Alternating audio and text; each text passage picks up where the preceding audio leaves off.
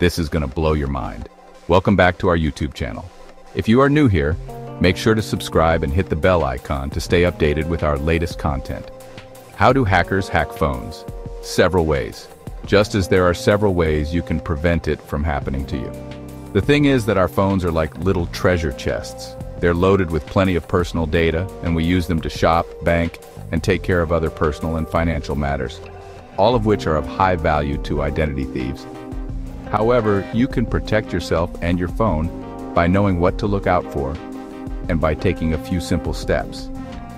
Let's break it down by first taking a look at some of the more common attacks. Hacking software. Whether hackers sneak it onto your phone by physically accessing your phone or by tricking you into installing it via a phony app, a sketchy website, or a phishing attack, hacking software can create problems for you in a couple of ways. Keylogging. In the hands of a hacker, keylogging works like a stalker by snooping information as you type, tap, and even talk on your phone. Trojans. Trojans are types of malware that can be disguised in your phone to extract important data such as credit card account details or personal information. Some possible signs of hacking software on your phone include a battery that drains way too quickly.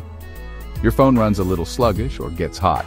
Apps quit suddenly or your phone shuts off and turns back on. You see unrecognized data, text, or other charges on your bill.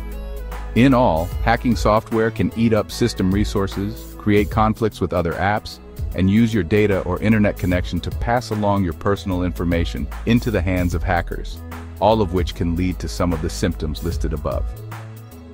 Phishing attacks. These are a classic form of attack.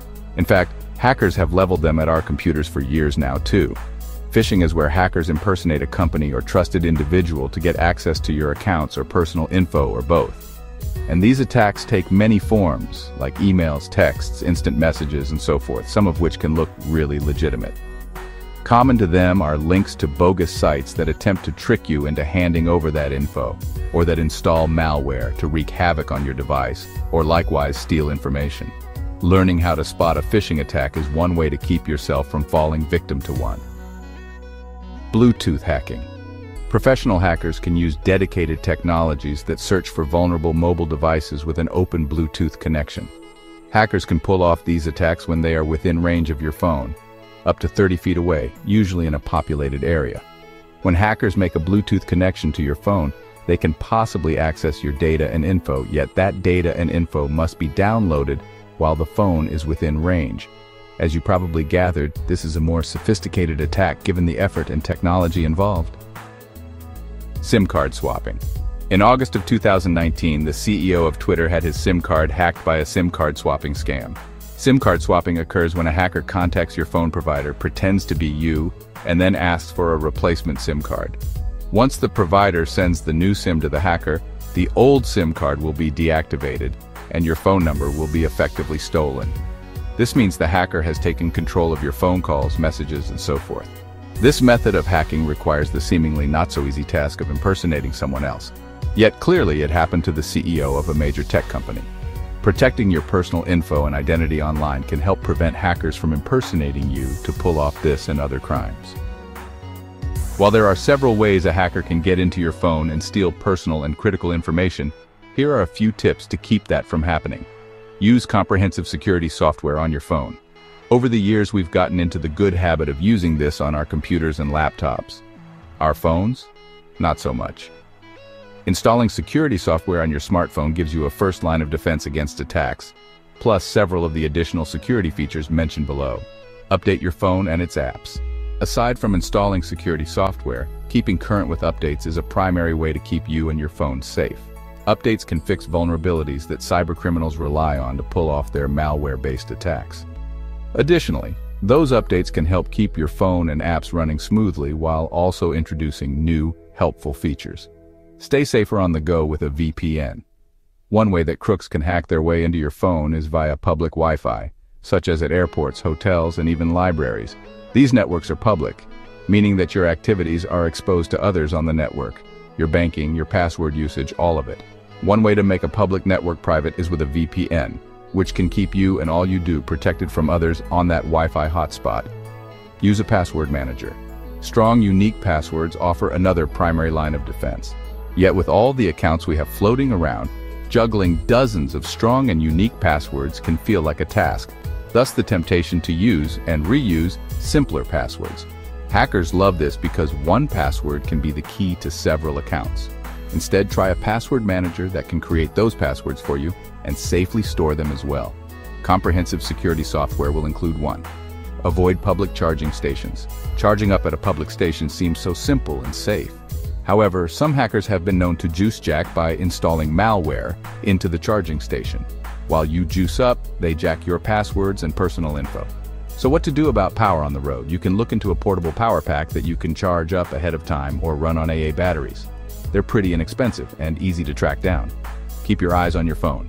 Preventing the actual theft of your phone is important too, as some hacks happen simply because a phone falls into the wrong hands.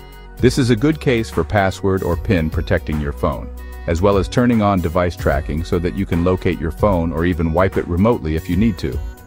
Apple provides iOS users with a step-by-step -step guide for remotely wiping devices, and Google offers a guide for Android users as well. Encrypt your phone. Encrypting your cell phone can save you from being hacked and can protect your calls, messages, and critical information. To check if your iPhone is encrypted, can go into Touch ID and passcode. Scroll to the bottom and see if data protection is enabled. Typically this is automatic if you have a passcode enabled. Android users have automatic encryption depending on the type of phone. Lock your SIM card. Just as you can lock your phone, you can also lock the SIM card that is used to identify you, the owner, and to connect you to your cellular network. Locking it keeps your phone from being used on any other network than yours. If you own an iPhone, you can lock it by following these simple directions. For other platforms, check out the manufacturer's website turn off your Wi-Fi and Bluetooth when not in use. Think of it as closing an otherwise open door. There are several attacks that a dedicated and well-equipped hacker can make on devices where Wi-Fi and Bluetooth are open and discoverable. Likewise, while not a hack, some retailers will track your location in a store using Bluetooth technology for marketing purposes, so switching it off can protect your privacy in some situations as well. You can easily turn off both from your settings, and many phones let you do it from a pull-down menu on your home screen as well. Steer clear of third-party app stores. Google Play and Apple's App Store have measures in place to review and vet apps to help ensure that they are safe and secure. Third-party sites may not have that process in place. In fact, some third-party sites may intentionally host malicious apps as part of a broader scam. Granted, cybercriminals have found ways to work around Google and Apple's review process, yet the chances of downloading a safe app from them are far greater than anywhere else. Furthermore, both Google and Apple are quick to remove malicious apps once discovered, making their stores that much safer.